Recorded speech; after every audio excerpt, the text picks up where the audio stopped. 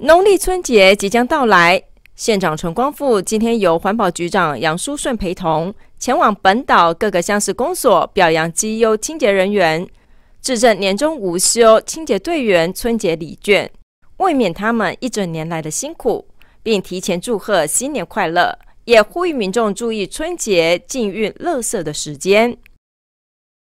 县长陈光复向所有维护环境整洁的幕后英雄致上崇高敬意。他表示，清洁队员平日工作相当辛苦，无论是风雨都要按时外出收垃圾、分类回收。尤其年节将近，垃圾量更多。他再次谢谢大家的辛苦，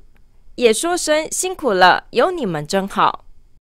我今特别来慰问吼啊，咱的古登来吼啊，南南河。流汗拍拼，为着咱平湖啊清洁，为着马公市清洁，或者个清洁队员吼，啊，阮特别来伊请安，来伊致敬，来伊感谢吼，啊，代表是真辛苦啦吼，啊，遮全马公市有八十九位吼，八十九位吼，啊，全体哦吼，啊，两百几位吼，啊，遮清洁队员，当然表示吼，真侪关心的人，吼，斗做志工啊啥吼，我拢特别感谢，啊，要祝因啊新年快乐，万事如意，因为辛苦，阮特别表示十二万分的。感谢甲敬意。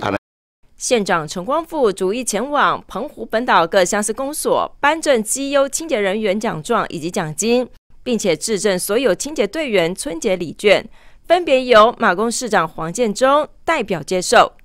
记者陈荣玉报道。